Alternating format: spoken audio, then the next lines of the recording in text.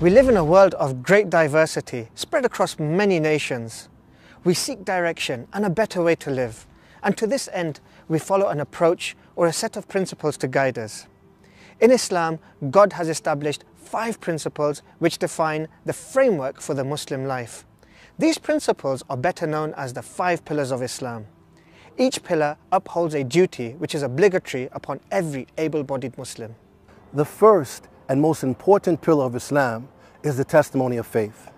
It's a simple yet powerful declaration which forms the basis of Islam. And it means there is no God worthy to be worshipped except for God and Muhammad is the messenger. It's a universal declaration which forms the essence of every Muslim believer. The second pillar in Islam is prayer. God has commanded the Muslims to pray five times a day. So five times a day, Muslims as worshippers drop whatever they're doing, wherever they are, to perform the prayer. And in fact, the prayer is a direct link with God, the only one worthy of worship. It only takes a few minutes, but through it, a person can attain real happiness and inner peace. That's because in Islam, the prayer nourishes the mind and soul like food and water would nourish the body.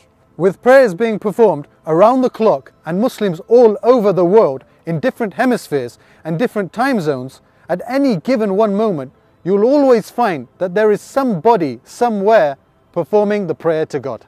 The third pillar in Islam is giving the obligatory charity.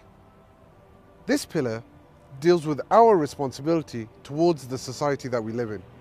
Each year, every Muslim who possesses wealth above a defined poverty line is required to pay 2.5% of their wealth towards those who are in need or poor.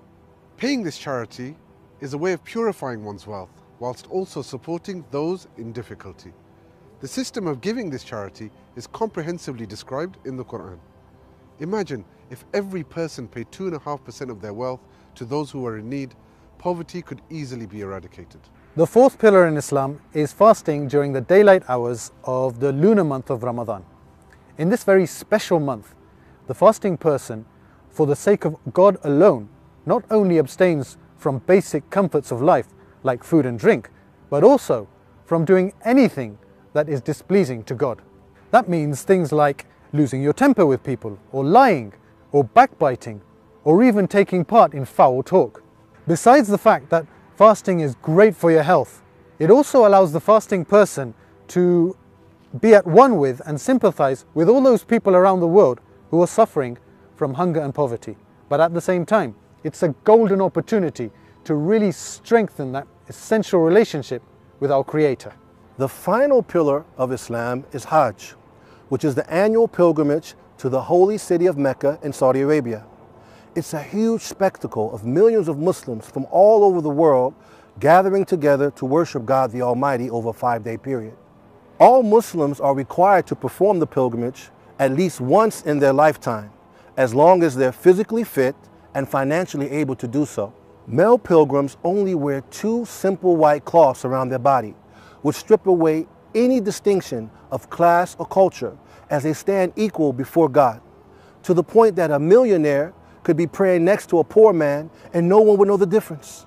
The five pillars of Islam uphold what is virtuous to every believer who submits to God's will. Muslims from all over the world are united in trying to fulfill these pillars to the best of their ability so that they may earn God's pleasure and mercy and in the end enter paradise, a life of eternal happiness.